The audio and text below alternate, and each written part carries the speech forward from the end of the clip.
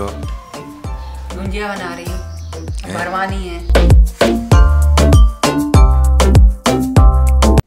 होली पर गुंजिया बनेंगी तो उसके लिए मैं भून रही हूँ मावा, यानी कि खोआ।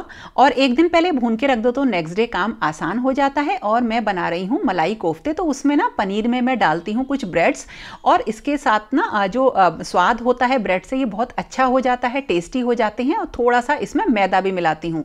तो सबसे पहले अच्छी तरीके से पनीर को हाथ से क्रश कर लेती हूँ।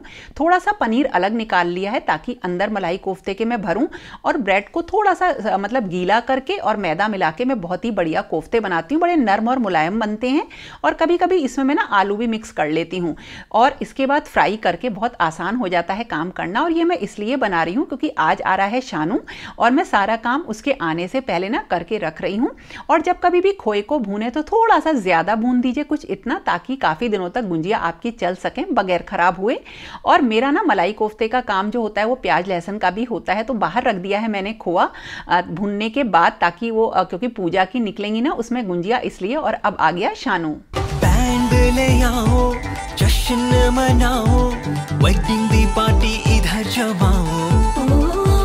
रिश्ते नाते दोस्त मोहल्ला आज की रात चीकू क्या खा रहा है? हाँ चीकू। शानू ने खाना खा लिया। और चीकू क्या कर रहा है? चीकू। और यहाँ हो रखी है तैयारी। मैंने अपना खोआ भून के रख दिया है देखो।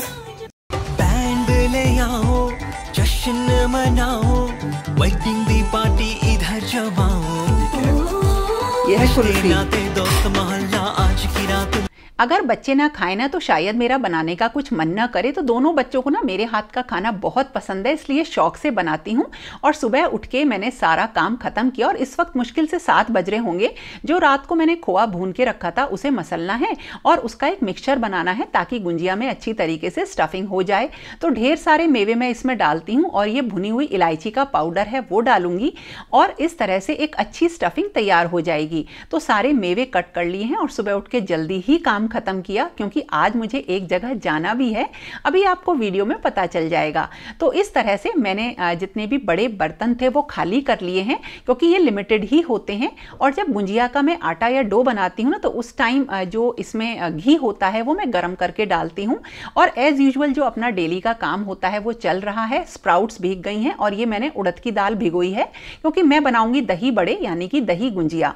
तो ये सारे काम देखो, जो नॉर्मल काम है और जो त्यौहार के काम हैं, वो इकट्ठे ही चल रहे हैं। और इस बार मैंने सोचा था डिटेल्ड वीडियो आपके साथ गुंजिया का शेयर करूँगी, लेकिन लास्ट ईयर मैंने आपके साथ जो वीडियो शेयर किया था, उसमें सारी टिप्स वगैरह मैंने बता दी थी। और अब मेरी आदत बन गई है कि मैं चीज़ों को बिल्कुल नाप के अच्छी तरीके से बनाती हूँ। और कुछ जो आटा है, वो मैं अलग से लगाऊँगी ताकि मैं जो पाग वाली गुजिया होती हैं, वो बनाऊँ। और हमेशा जो घी होता है, उसी में पानी मिक्स करती हूँ, जो बेकिंग सोडा वगैरह होता है, वो मिक्स करती हूँ। तभी मैं इसका जो है आटा तैयार करती हूँ। इससे घी जो है ना पूरी मैदा में अच्छी तरीके से मिक्स हो जाता है। और इस तरह से जो कसार बनेगा यानी मिक्सचर बनेगा उसमें भी मैंने सारी चीज़ें तैयार कर ली हैं। और देखिए किसी को कोई मतलब नहीं है यानी सबकी डेली लाइफ चली रही है। जो घर में आ, वो होती है ना फीमेल होती है उसी के ऊपर ये सारे काम होते हैं। ये देखिए ये तैयार हो गया है गुंजिया का जो डो होता है। और ये थोड़ा सा जो आ, सादी गुंजिया बनेगी ना जो उस तरह की बनती हैं चाशनी वाली उनका जो खोआ होता है उसमें चीनी मिक्स नहीं करते हैं। बूरा वगैरह मीठा नहीं मिक्स करते हैं, वो अलग कर लिया। और मैं किचन से अलग बना रही हूँ गुंजिया तो किचन में सारी तैयारी करके मैं रख जा रही हूँ। और ये थोड़ी सी चाशनी मैं बना रही हूँ, थोड़ी जो रसगुल्ले की, गुलाब जामुन की बची थी, उसे मैं चढ़ा दे रही हूँ गैस पर क्योंकि जो पाग वाली गुंजियाँ हैं, वो इसी में बनेंगी।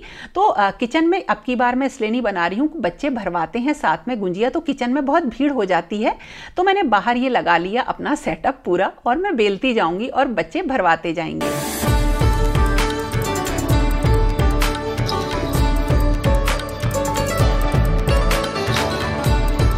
जो गुंजिया पाग यानी चाशनी वाली बनती हैं, वो बताती हूँ। तो सबसे पहले एक मोटी लोई के ऊपर अच्छी तरीके से आप पानी लगा दीजिए और उसके बाद इसको इस तरह से बंद करके हाथ से इसको बंद करते हैं। इसको किसी मशीन मतलब किसी टूल की मदद से बंद नहीं करते हैं और ये बहुत ही टेस्टी लगती है खाने में और ये थोड़ी ज़्यादा दिन तक चलती हैं क्योंकि इसके ऊपर चाशनी आ जाती है। तो इसका जो डिज़ाइन है, वो एक गुंजिया में थोड़ा सा बिगड़ता है, लेकिन दोबारा से करो तो बहुत बहुत ही आराम से ये बन जाता है। तो ये मैंने चाशनी वाली गुंजिया इसलिए इसलिए बनाई हैं कि क्योंकि मैं ना आज जाऊँगी बांके बिहारी मंदिर में, भोग लगाना है मुझे वहाँ पे गुंजिया का, उसके लिए। और देखिए, जब आप इसमें फिलिंग भरें तो इस तरह से थोड़ा सा ना इसकी शेप कुछ गड्ढे वाली बना लीजिए थोड़ा सा मोड़ के। इससे इसमें ना बहुत अच्छे से डिज़ाइन बनता है और ये प्रॉपर इसकी शेप आ जाती है। तो इसके बाद इनको बिल्कुल धीमी आँच पर फ्राई करना है और जो इनका डो रहता है, वो नॉर्मल जो गुंजिया का आप डो बनाते हो, उतना ही रहता है। तो मैं ये धीमी आँच पर जब तक ये फ्राई होंगी, तब तक बाहर आके थोड़ी सी मैं और भर लूँगी। क्या कर रही हो आप? गुंजिया बना रही हूँ। भरवानी है।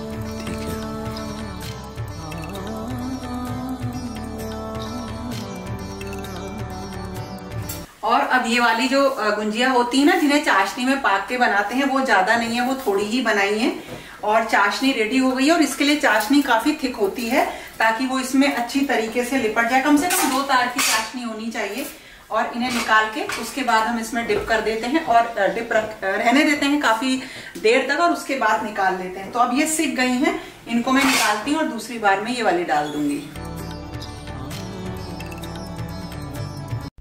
चाशनी वाली गुंजिया को हल्का ब्राउन होने तक हमें फ्राई कर लेना है और उसके बाद हम इन्हें चाशनी में डालते हैं, लेकिन ठंडा होने के बाद।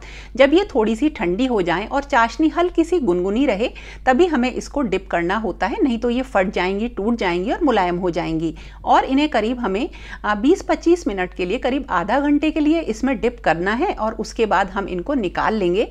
और जैसा कि मैंने कहा, ये बहुत ही टेस्टी लगती हैं खाने में और बहुत दिनों तक चलती हैं। और अब साथ के साथ बन रही थी नॉर्मल वाली गुंजिया, जिन्हें बनाने में बहुत टाइम लगा। मैंने ये सात बजे के करीब ये काम शुरू किया था और मुझे एक बजे निकलना था बिहारी जी मंदिर के लिए और मुझे दो तीन चीज़ें बनानी थी तो जल्दी जल्दी मैंने सारा काम निपटाया और बच्चों ने काफ़ी हेल्प इसमें करवा देते हैं भरने में।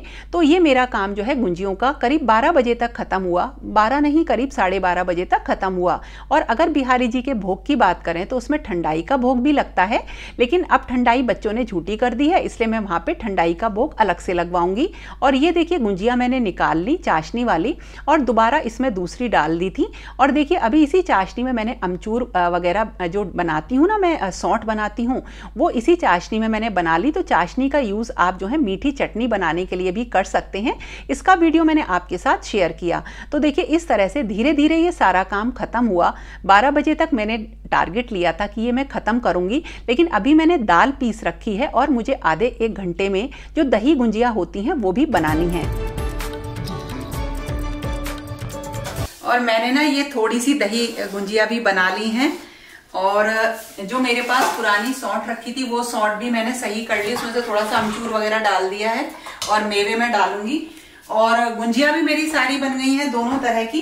अब ये किचन तो मैं आके संभालूँगी बाद में। हमें जाना है आज बांके बिहारी जी मंदिर में और वहाँ हम खेलेंगे होली और भगवान जी को भोग लगाएँगे। तो मैंने ये सब प्रसाद जो गुंजिया का था ना, वो सब मैंने इसमें रख लिया है।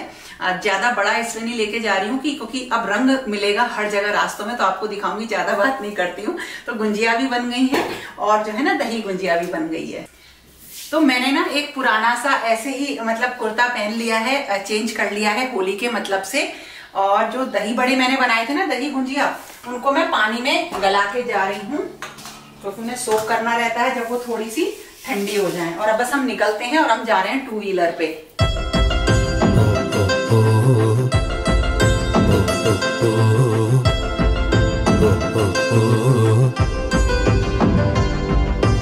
कुछ एहसास, कुछ लम्हे। कुछ बादल, कुछ बारिशें। और करीब दो बजे मैं पहुँच गई बांके बिहारी जी के मंदिर में। ठाकुर श्री बांके बिहारी जी के मंदिर में वृंदावन, क्योंकि मुझे उनके साथ खेलनी थी होली। अगर मैं अपनी होली सार्थक समझूं तो वो तभी होगी जब मैं प्रभु के संग इस होली को मनाऊं। तो देखिए, बहुत ही अच्छा और बहुत ही डेकोरेशन तो नहीं कहूँगी, लेकिन गुलाल वगैरह देख के जो होली की वाइब्स होती है ना, वो आ रही थी।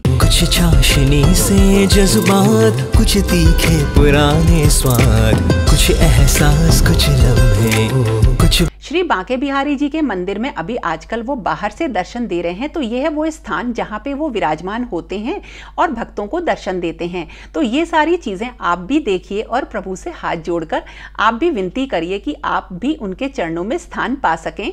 तो इस जगह को हाथ से छूना, उनका मतलब उस चीज़ को फील करना, इसका अनुभव अलग ही होता है। और यहीं पे श्री ठाकुर जी का जो ये द्वार है, ये चांदी का जो द्वार है, ये मेन दहरी है, और इसी के साथ साथ रखा हुआ था, बहुत सारी चीज़ें जो कि देखने को कम ही मिलती हैं। और मैंने यहाँ पे अपनी पूजा करी और जो भी मैं चाहती थी, वो सारे पाठ किए। यानी एक बड़े निश्चिंत मन से मैंने प्रभु के दर्शन किए।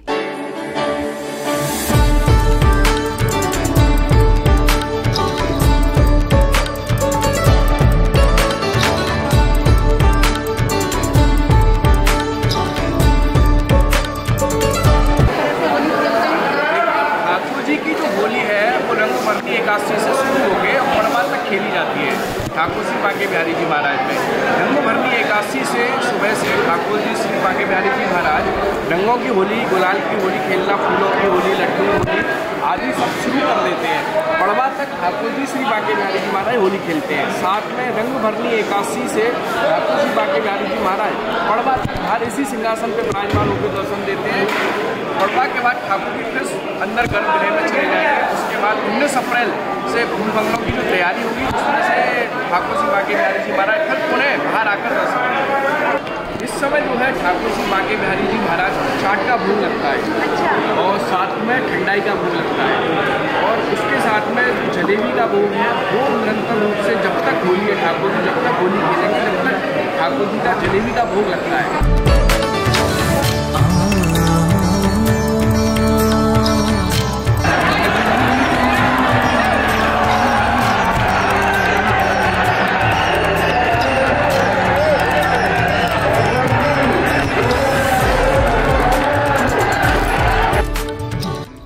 और ये देखिए, ये है भक्तों का उत्साह जो उनको मंदिर में खींच लाता है और यहाँ पे आजकल होती है फूलों की जो होली होती है, देख के इतना मन प्रसन्न होता है कि क्या कहने।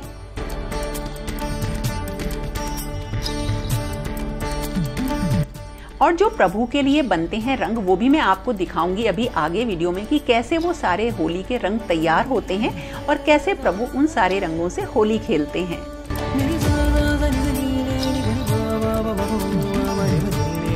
इन सारी चीज़ों को देखना ही अपने आप में एक सौभाग्य होता है।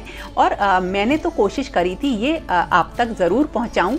और इसमें मदद करी आ, मेरे साथ जो सोमनाथ गोस्वामी हैं उन्होंने उनका मैं आ, जो वो शॉर्ट्स वगैरह डालते हैं उसका लिंक आपको दे दूँगी आप चेक कर लेना। और इस होली का तो आ, कहने ही क्या देख के मज़ा आ गया और अपना जीवन ही सार्थक लगने लगा।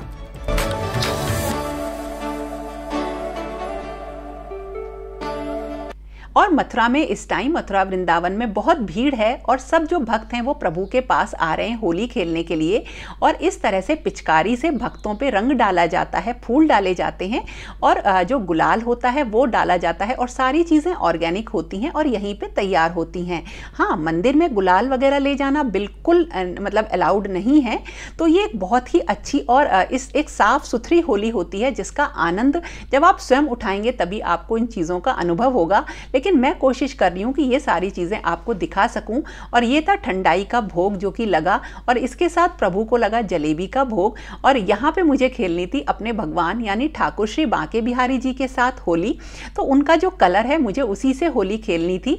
और जो ये पिचकारी में कलर होता है ना, ये ऑर्गेनिक टेसू के फूलों से बना कलर होता है और गुनगुने पानी में दिया जाता है, जो कि अभी मैं आपको आगे बताऊँगी। तो यहाँ पे जो होली होती है वो प्रभु के साथ खेली जाती है और सामने ही प्रभु प्रभु विराजमान रहते हैं, उनको दिखाना अलाउड नहीं है कैमरे में। मन तो कर रहा था कि बस मैं आपको उनकी झलक दिखा दूँ, लेकिन आप बस हाथ जोड़ लेना, क्योंकि जिस स्थान के भी आप दर्शन कर रहे हो, समझिए वहीं पे प्रभु विराजमान है।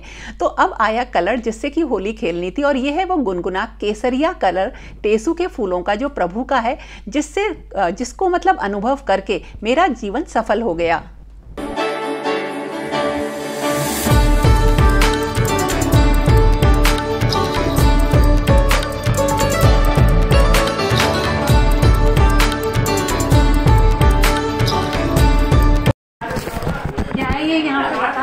यहाँ पे बाकी बिहारी जी की जो आप पानी का कलर देखते हैं, रंग देखते हैं, वो यहाँ पे तैयार होता है। ये जो स्पेशल फूल है टेसू का इसको फूल बोलते हैं हम लोग। ये यहाँ पर लाया जाता है, उसके बाद इनको ड्राम में भिगोया जाता है। फिर जो इस कढ़ैया में आप देख रहे हो, ये पानी है।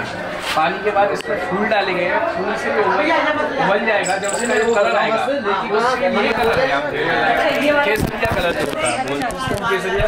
ये है और ये वहाँ से छन छन के गरम गरम जाता है यहाँ से। अच्छा, अच्छा। जिससे लोग वहाँ को सर्दी भी नहीं लगे और साथ में होली खेलने का आनंद भी दुगना हो जाता है। ये बिहारी जी का रंग तैयार हाँ, ये बिहारी जी का रंग तैयार हो रहा है। ये बिल्कुल उबलता हुआ कलर है आप देख रहे हो धुआँ देगा ये पूरा।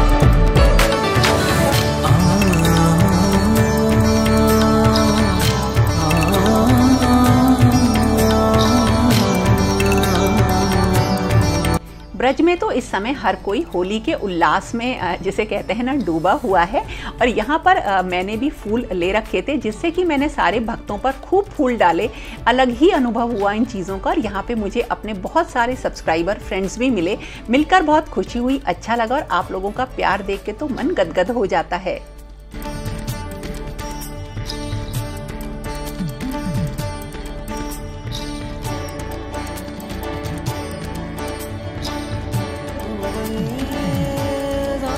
दोस्तों, ये है होली का सेलिब्रेशन जो कि मेरी तो एक तरह से समझिए होली हो ही गई। कैसा लगा आपको आज का वीडियो ज़रूर बताना। और जितना भी मैंने दिखाया, उसमें कुछ भी पसंद आए तो लाइक ज़रूर करना। और फिर मिलेंगे कुछ और नए इंटरेस्टिंग वीडियोज़ के साथ। तब तक के लिए okay friends thank you and bye